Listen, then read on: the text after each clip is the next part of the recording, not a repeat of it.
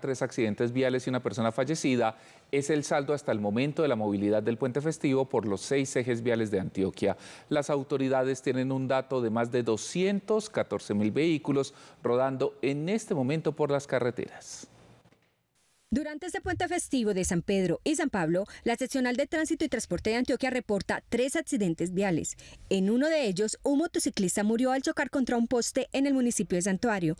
La víctima fue identificada como Jason Álvarez Pacheco. Por favor, no adelantemos en doble línea, especialmente en las vías bidireccionales del departamento de Antioquia.